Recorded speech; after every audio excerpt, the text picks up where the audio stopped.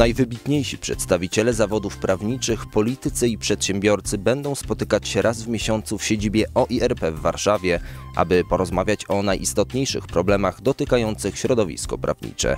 Pomysłodawcą cyklu debat przy kawie oraz jego prowadzącym jest Maciej Bobrowicz, były prezes Krajowej Rady Radców Prawnych. Pierwsze spotkanie odbyło się w czwartek 27 marca o godzinie 18.30 w klubie radcy prawnego przy Placu Konstytucji 5 w Warszawie. W dyskusji pod tytułem Czy młodzi radcy prawni mają szansę na sukces wzięli udział Witold Daniłowicz oraz dr Daniel Książek. Dyskusja toczyła się wokół następujących pytań. Jak wygląda dziś rynek? Jak rozpocząć start w zawód? Specjalizacja czy praktyka ogólna? Czy młodzi mają dziś rynkowe szanse, czy też wszystkie karty zostały rozdane? Ideą debat przy kawie jest poszukiwanie rozwiązań najbardziej istotnych problemów dotykających środowisko radców prawnych. Chciałem przedstawić Państwu dzisiejszych gości, pana mecenasa Witolda Daniłowicza i pana mecenasa Daniela Książka. E, Pan mecenas jest ogólnie znaną i szanowaną postacią w świecie e, warszawskim. Taką samą postacią jest pan mecenas w świecie krakowskim. Także mamy reprezentację i Warszawy, i Krakowa. Dzisiaj zaprosiliśmy sobie dwóch panów. Panowie reprezentują różne generacje prawników. Mm, Powiedziałbym, że ta generacja jest bardziej zaawansowana wiekowo, a to jest generacja, którą w świecie prawników przyjęliśmy nazywać e, młodymi prawnikami. Mm, e, Poproszę panów, ma to pewne znaczenie dla pytania, które będę zadawał, o minutkę mm, i powiedzenie krótkiego e, życiorysu. Ja oczywiście mam to napisane mam napisane, że Będę pan, sprawdzał. że pan Witold Daniłowicz ukończył prawo na Uniwersytecie Warszawskim. że studiował Wrocław. Wrocław, Wrocławskim, że studiował na Louisiana State University Law Center. Zgadza się. E, Że pracował w kancelarii w Houston, Texas. Też A, że wrócił w 1993 do Polski. Tak, dobre informacje. Był partnerem White and Case, a teraz zaczął praktykę w kancelarii Daniłowicz, Jurcewicz i partnerzy. No tak. Tak. Dani, Daniłowicz, coś Biedecki i partnerzy. Tak. O, to jeszcze patrzyłem dzisiaj na stronę internetową. Ta, to nie, Daniłowicz, Jurcewicz. sytuacja ewoluuje, jest dynam, A, dynamiczna. Dynamicznie. E, Pan mecenas Daniel Książek, wspólnik zarządzający książek e, i Pigaj w Krakowie, doktorat z prawa pracy, e, doktorat miejsce pracy jako istotny element umowy o pracę, taki jest tytuł doktoratu, e, 2000, od 2013 roku asystent w Katedrze Prawa Pracy e, Uniwersytetu Jagiellońskiego. I pana mecenasa tutaj poprosiłem, bo pan mecenas jest przykładem e, pewnej tezy, że oto mm, jest miejsce dla tych, którzy wybierają specjalizację e, i że prawo pracy, czym pan mecenas się specjalizuje, jest czymś takim, mm, mimo pewnych ocen negatywnych, które wiążemy z karierą i z prawem pracy, że jednak prawo pracy daje pewne szanse. I pytanie, od którego zacznę. Mm, Skąd wziął się temat tej debaty? Otóż spotkania ze studentami Wydziału Prawa i naszymi aplikantami doprowadziły do takiego wniosku, że mm, myślenie, które jest powszechne wśród aplikantów i wśród studentów jest takie, że oto wszystkie miejsca na rynku zostały zajęte, że e, praktycznie oni nie mają żadnych szans funkcjonowania na rynku, że praktycznie jest przesądzone i e, w zasadzie nie mają żadnych szans. Być może przez przypadek uda im się dostać do jakiejś kancelarii albo wpaść na pewien pomysł, założyć kancelarię, ale szanse e, zrobienia w tej chwili kariery są e, zupełnie mm, e, przypadkowe albo zależą od szczęścia. Co panowie o tym myślicie? Rozumiem, że ja pierwszy. Bardzo Wzrok, proszę. wzrok Proszę, proszę. wskazuje na mnie. Natomiast bardzo dziękuję e, za zaproszenie w pierwszej kolejności. Jest mi niezmiernie miło, że mogę w tym miejscu reprezentować Kraków. E, czyli to jest dowód na to, e, że ta inicjatywa ma charakter e, dość ogólny. Dlaczego prawo pracy? Myślę, że w 2004 roku, rok po skończeniu studiów, byłem taką osobą, która dzisiaj kończy aplikację i która tak naprawdę chciałaby prowadzić, założyć firmę prawniczą, tylko nie za bardzo wie, w jaki sposób to zrobić. Ja byłem, ten rynek był również wtedy bardzo trudny. E, Pan tutaj mecenas ch- chyba powtórzy, 2004 e, to był taki okres dość e, dobrego okresu dla kancelarii, tych większych.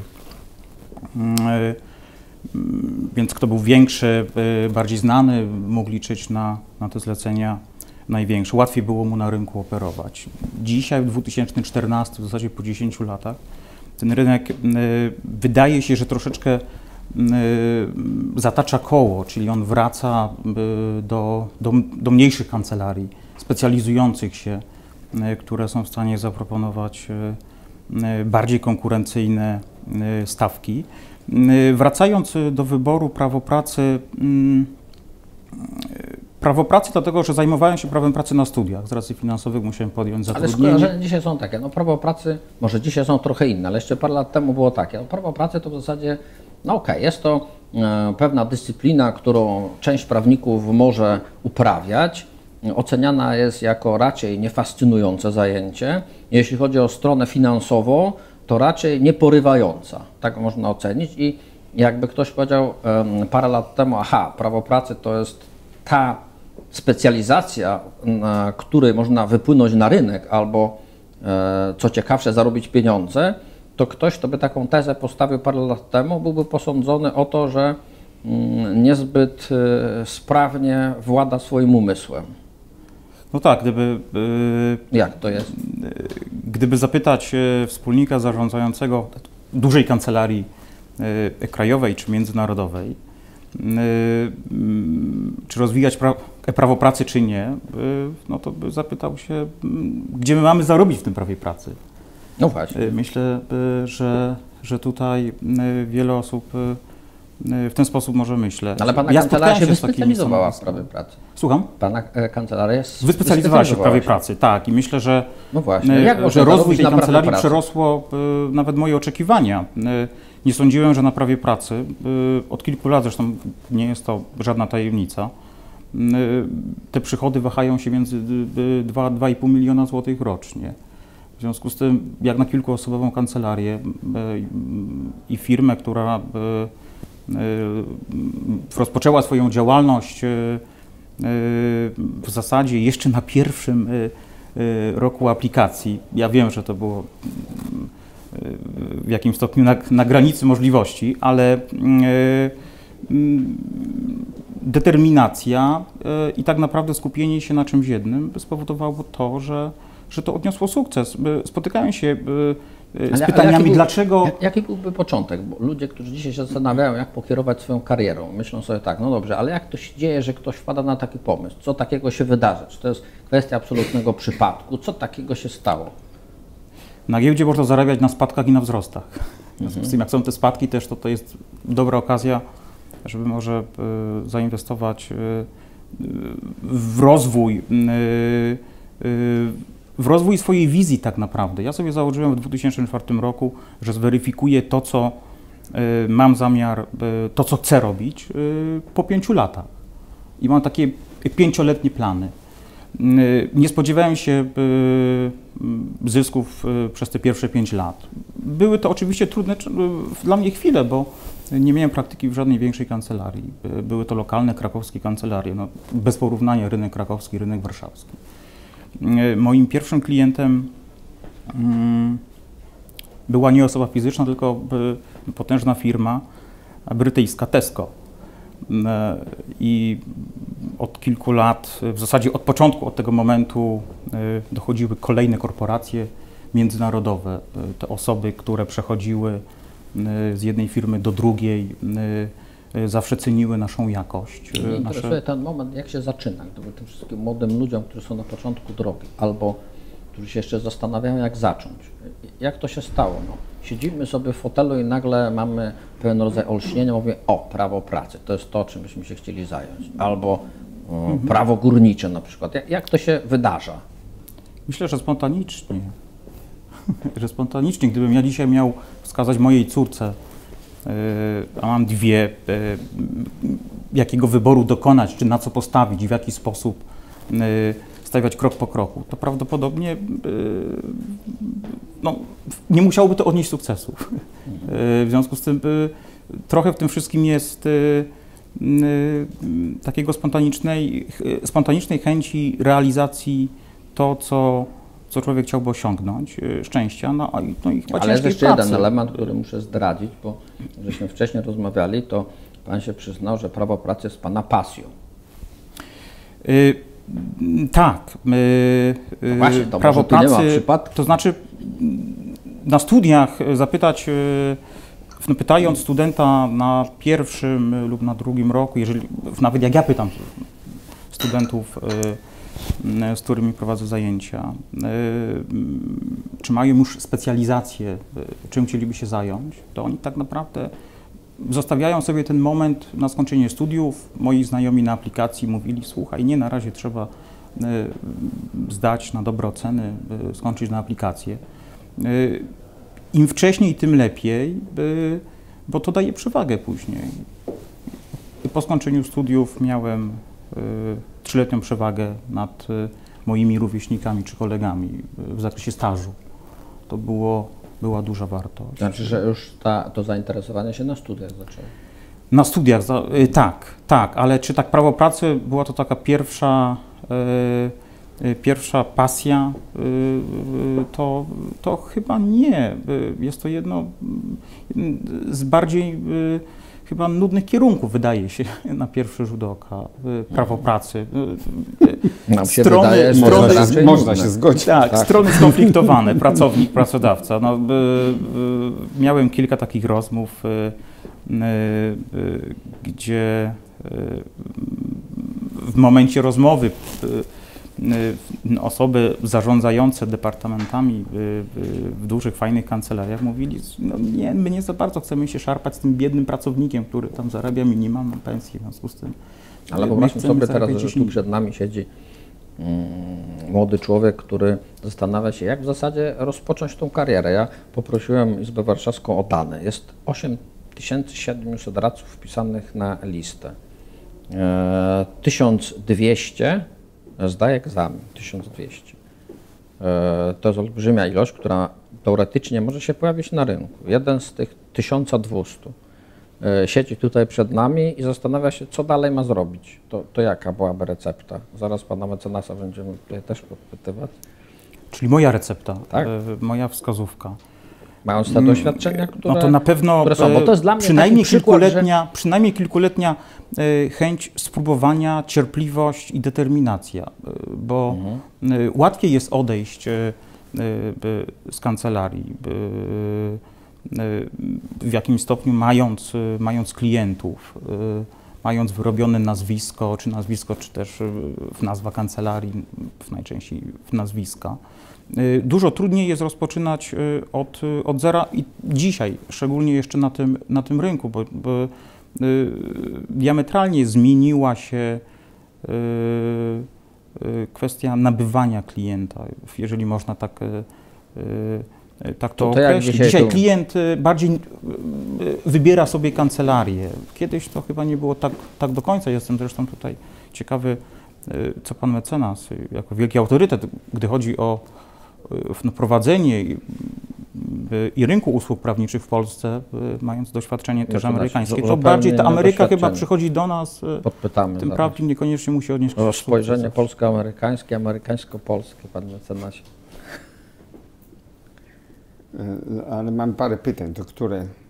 No, pytanie ostatnie było takie, co by pan poradził Młodemu temu, człowiekowi. temu młodemu człowiekowi, uwzględniając A, całe doświadczenie, bo oczywiście ta Tak, sytuacja, w której pan budował sobie karierę, jest nieporównywalna, bo te sytuacje się dzisiaj nie tak, powtórzą. to już- Na szczęście się Te czas- nie, ale powtórzą. Sytuacja jest Niektóre. dynamiczna, jak powiedziałem. Tak? Co roku mamy inną sytuację, co ale nie Jesteśmy w tej sytuacji dzisiaj, ale- kiedy ale- mamy 1200 osób, 8700 na liście. Tak, no ale to pytanie zakłada taką odpowiedź, jak, tak jak była książka kiedyś Nienackiego, Sposób na Alcybiadesa, tak? Że Mhm. ktoś tam zna ten tajemny patent i tylko trzeba po, powiedzieć, jak to jest i każdy młody człowiek to, to, to wykorzysta. Ale tak nie jest, bo Bo tak naprawdę trzeba zadać parę pytań temu człowiekowi, tak? Mhm. Zaczynając od takiego trochę wstydliwego, ale właściwie w jakim celu pan poszedł na prawo, tak?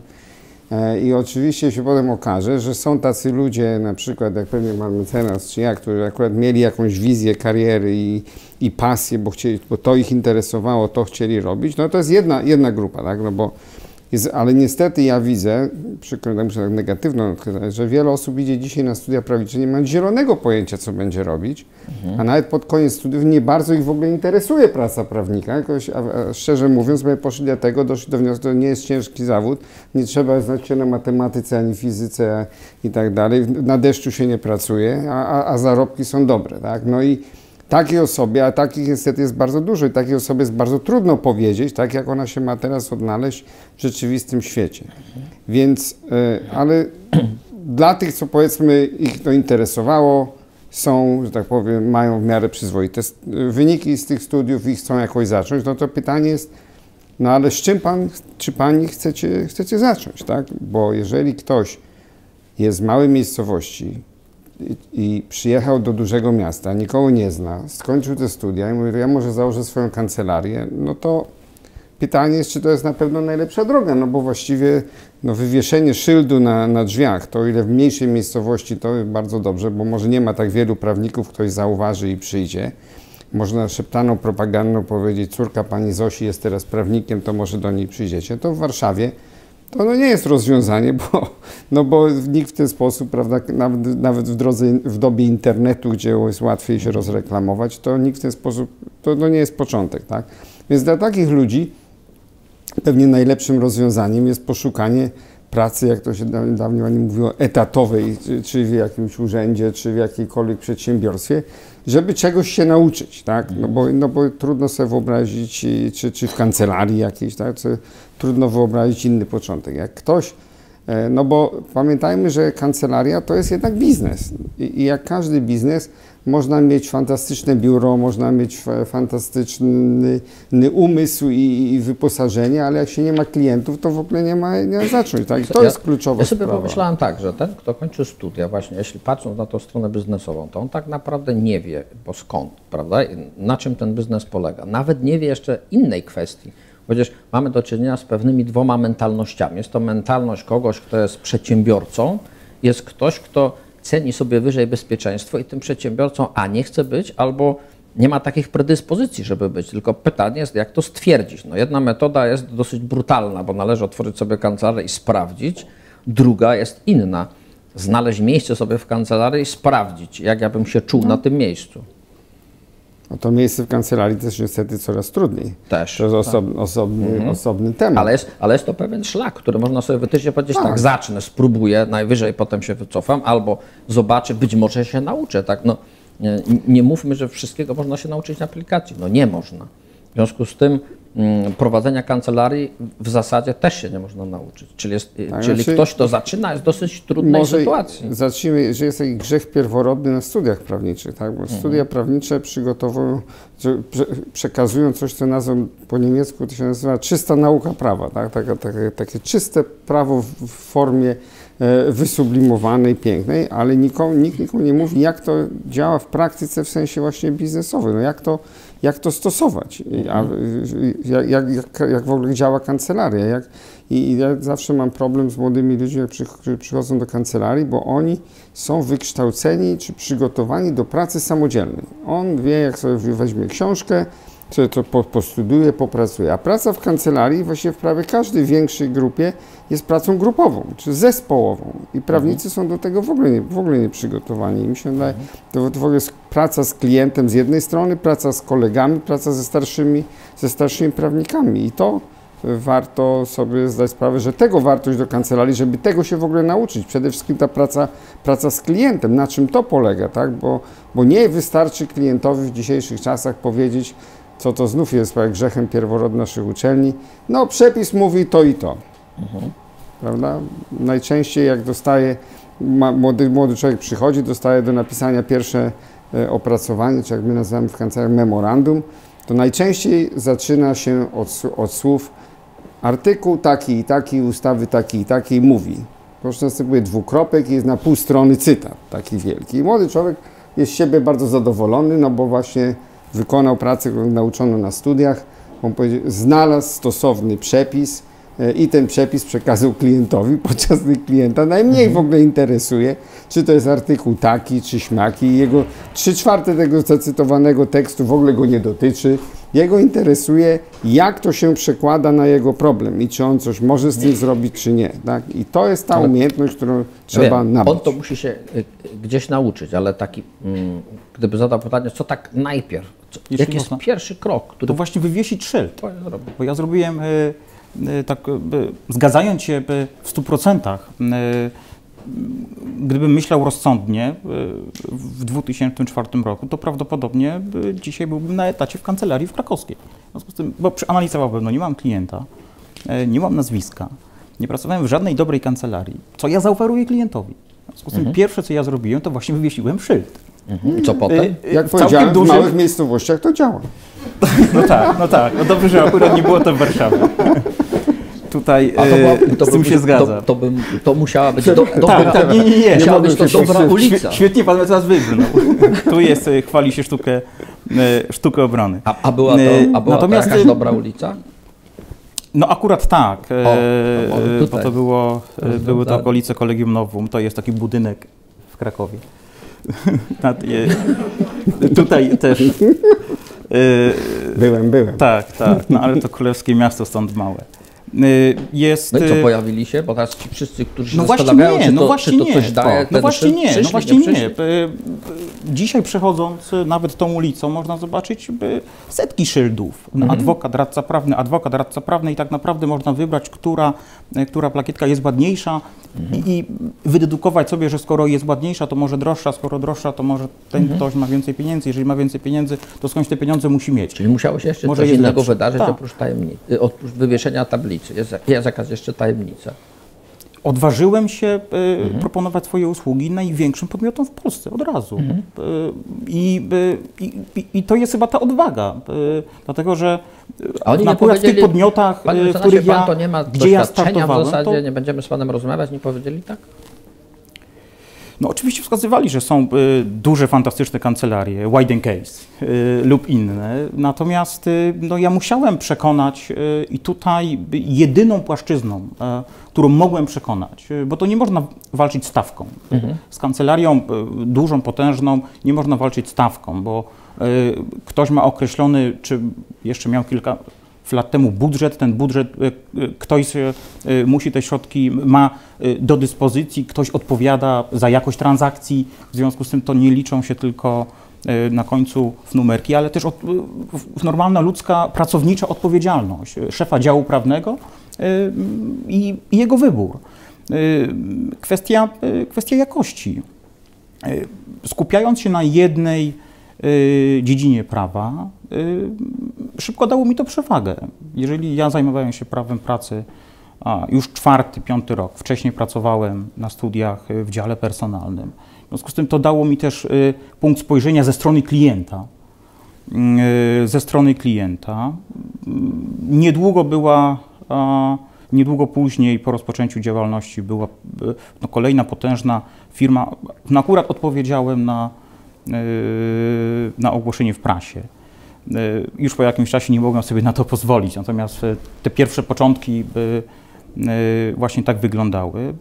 I szef działu prawnego w Warszawie mówi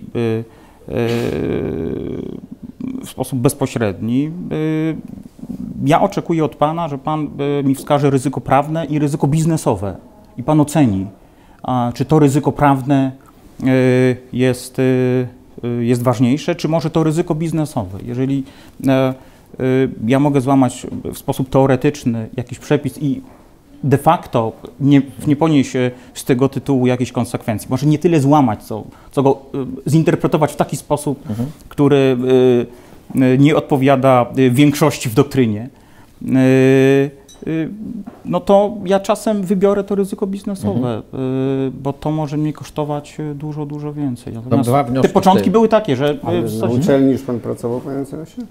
A, tak, tak. Ale tak. mi się wydaje, że to jest ten kluczowy Tak, moment. tak, tak? tak, usiłuję tak, właśnie bo wyłowić. to- te- to mi dało tą Bo, tak. bo to jest ta przewaga. Na drugim roku studiów i- pracowałem, To człowiek tak. idzie, prawda, i mówi, ja jestem asystentem w zakładzie prawa pracy, to, To go uwiarygadnia. go uwiarygadnia, prawda? Ale nie, jestem- nie, nie, pracowałem w sensie tak, że jako student pracowałem. Ja pracując, Nie, studiując pytanie, pracowałem. Pytanie brzmiało, czy w momencie, kiedy Pan już kancelarię y, miał, czy był Pan jeszcze pracownikiem naukowym? Czy łączył Pan te dwie aktywności, czy nie? Nie, wcześniej założyłem kancelarię. Mhm. Pracownikiem naukowym jestem od 2013 roku, w związku z tym tutaj jakby to są Mhm. Czyli kwestie. nie. E, nie. A, a działalność e, miałem w zasadzie od 2004 roku. e, Zmieniły się przepisy. Można było przez działalność gospodarczą prowadzić w, w Tak. usługi prawnicze. E, e, Kwestie.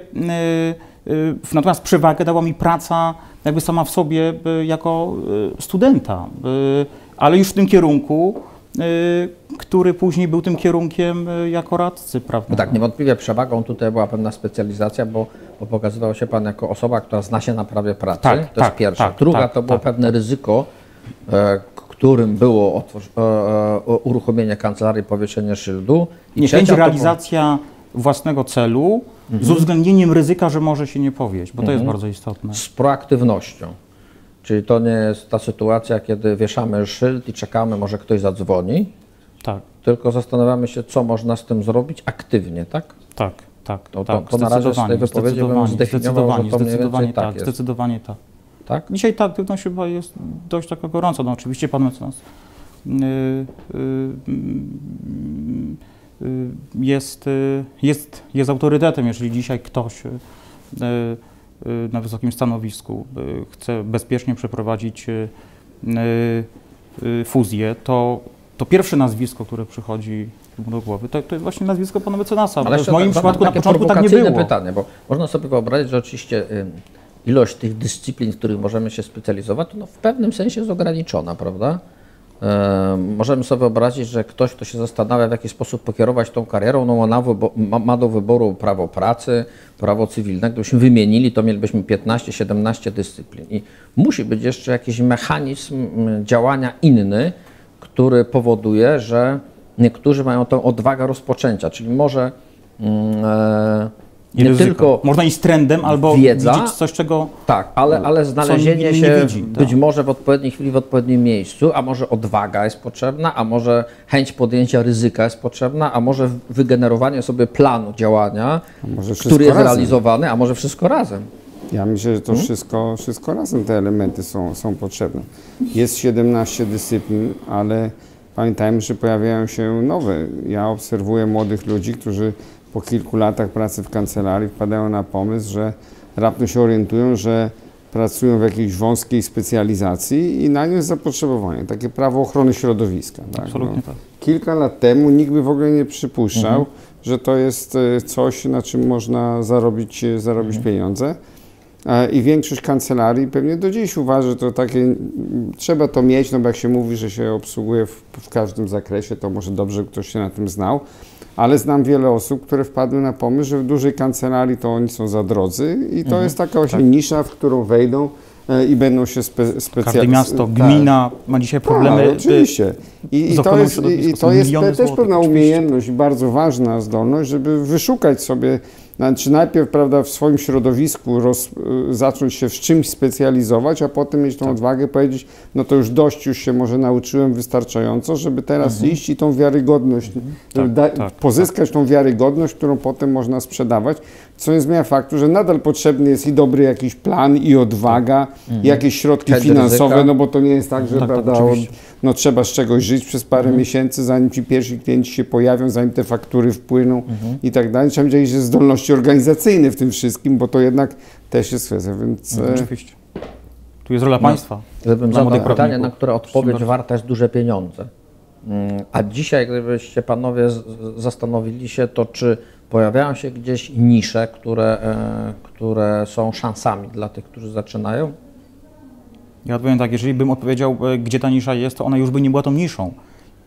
To jest tak, jak y, gdzieś by musiał, miał wskazać, by, nie wiem, w którą spółkę zainwestować. Jeżeli każdy ją wskaże, to może to być średnia takiego, inwestycja. Gdyby, Natomiast gdyby, gdyby to jest właśnie... sobie, czy metodą SWOT, czy inną metodą określić sobie e, przewagę rynkową tych młodych ludzi, którzy e, albo wchodzą na rynek, albo e, za chwilę wejdą, prawda? Bo ta grupa ma mm, pewne określone predyspozycje, wychowywała się w innych warunkach, inaczej odbiera tą rzeczywistość niż ci, którzy są w średnim wieku, albo ci, którzy są dojrzałymi prawnikami, muszą mieć jakieś przewagi.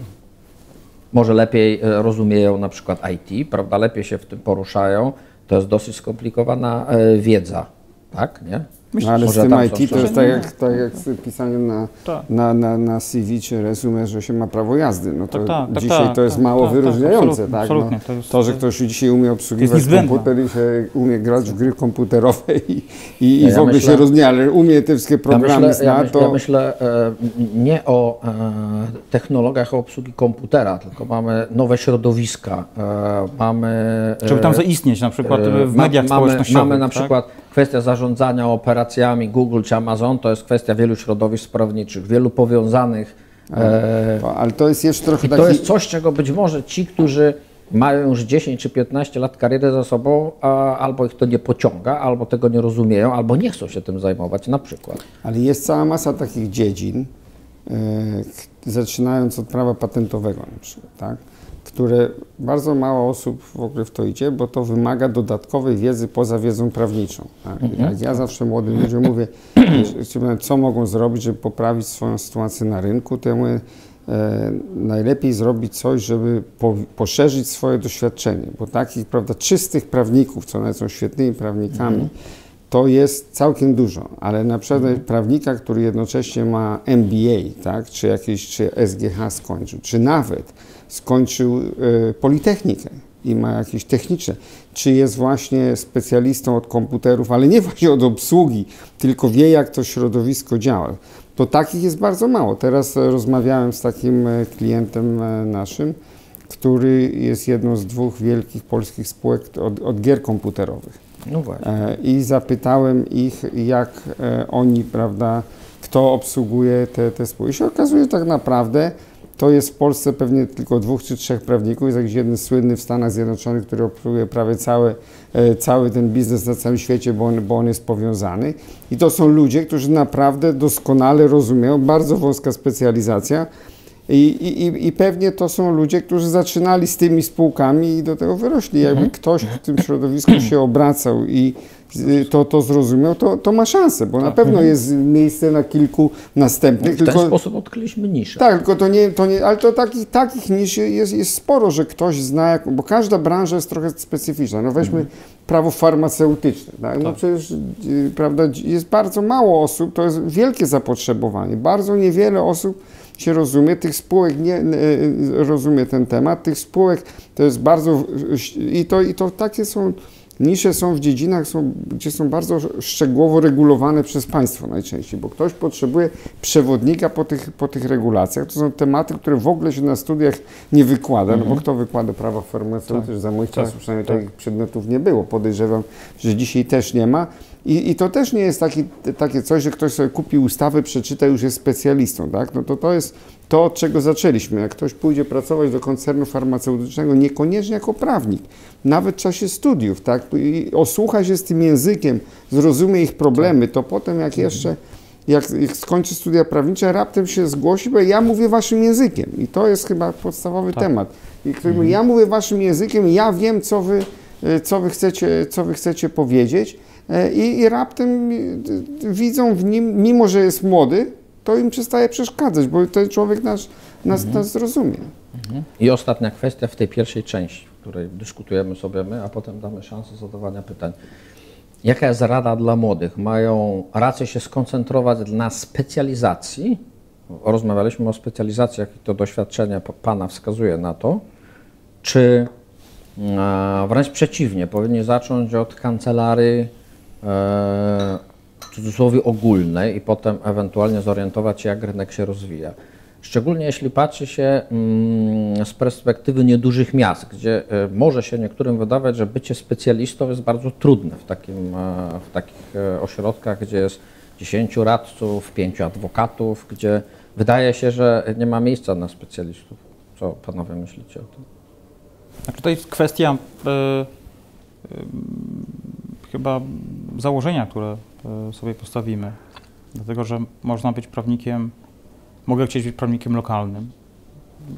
Nie chcę wyjeżdżać poza miasto e, e, czy poza województwo, gdzie mieszkam, ze względów rodzinnych. Bardzo często na dzisiaj prawnicy, zanim jeszcze rozpoczną życie zawodowe, chcą już je godzić z życiem rodzinnym. Mhm. I tu jakaś kolizja moim zdaniem jest. I drugi model to założenie, że chcę specjalizować się, ale ta specjalizacja ona kosztuje, kosztuje w tym sensie, że chcąc się specjalizować, w zasadzie muszę być globalny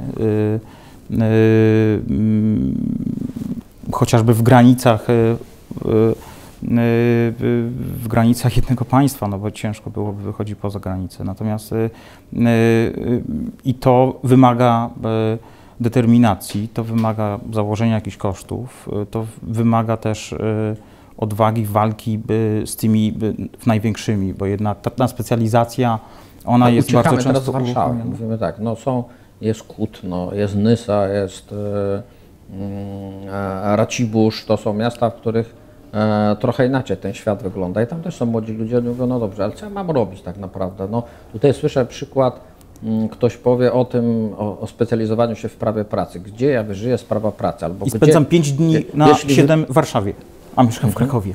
W no to tym jakby to jest, jest, koszt specjalizacji. Jest dobry przykład. Bo ten klient jest, mhm. który tą specjalizację kupi. Mhm.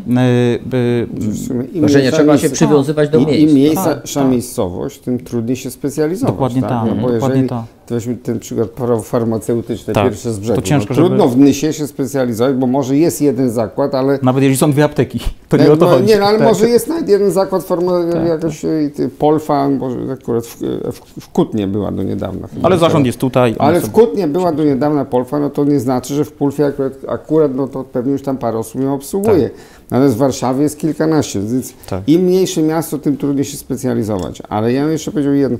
Ja zawsze uważam, bo młodzi ludzie często przychodzili do kancelarii dużo i mówią tak, ja się chcę specjalizować w tym czy w tamtym, tak? Ale moja teza zawsze była i to podtrzymuję, może to już jest niemodne, ale ja uważam, najpierw trzeba być dobrym prawnikiem w ogóle, tak?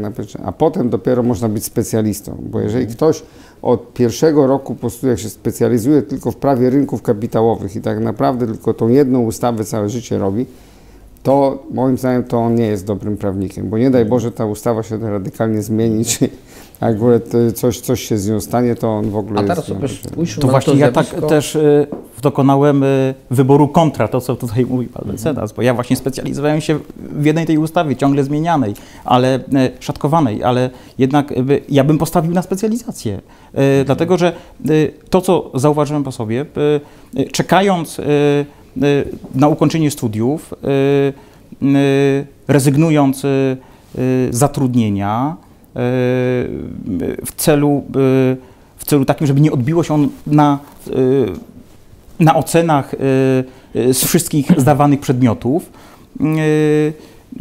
byłaby zbyt, rezygnacja z pracy by mnie zbyt drogo kosztowała. Na pewno nie byłbym w tym miejscu. To, co dało mi przewagę po skończeniu studiów, to, to jest właśnie to, że mogłem się legitymować e, tym trzyletnim doświadczeniem. I później po skończeniu aplikacji ja już nie musiałem szukać klientów, bo ja mhm. klientów miałem. No teraz zmniejszymy trochę skalę, bo mówiliśmy o tych specjalizacjach przez duże S, ale wyobraźmy sobie te nieduże nie miasto czy miasteczko. Jak tam będzie trzech prawników, albo nawet jak będzie dwóch prawników, to czy klient zawsze nie będzie szukał tego, kto jest lepszy? Jak jest dwóch prawników, to zawsze w czymś lepszy. Nieduże miasteczko rozwody. Zawsze klient będzie się dowiadywał, kto jest lepszy w cudzysłowie, kto, skuteczniejszy. skuteczniejszy, lepszy. Różnych określeń możemy używać, ale klient zawsze będzie szukał tego lepszego w nawiasie, tego, który się specjalizuje w tym. Będzie się zastanawiał, ile on miał rozwodów, a tamten ma doświadczenie w rozwodach.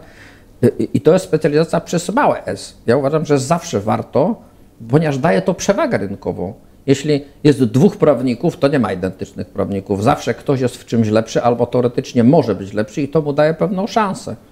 Być może jeśli będę świetny w prawie rodzinnym, e, to to spowoduje dobrą opinię i to spowoduje, że w innych sprawach do mnie trafią prawnicy. Znaczy, ja myślę, że percepcja jest trochę też inna.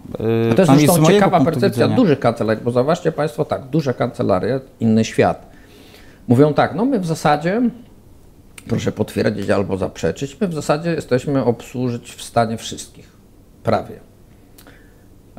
Ale jak jest ranking pewnego ogólnopolskiego dziennika, duże kancelarie też się pokazują jako specjaliści specjaliści z prawa handlowego, z procesów i pojawiają się te same marki, ale jako specjaliści, bo świat zawsze będzie szukał specjalistów, czy to jest duża firma, czy to jest mała firma.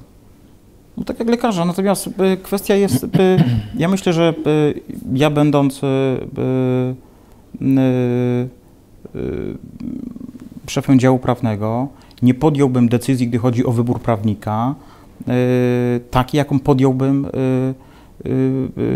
w sprawie osobistej, gdzie to ja bym płacił z moich pieniędzy. To jest jakby tutaj, Na te rozwody są, są, są jakby świetnym przykładem. Mhm. No, klient indywidualny nigdy nie będzie płacił tyle, ile będzie płaciła duża korporacja, bo ta osoba, no, która... Różnica jest w pieniądzach, ale na poziomie no, decyzji. No tak, ale ona jest jakby też... Tutaj musimy przez to podzielić rynek. Jeżeli mhm.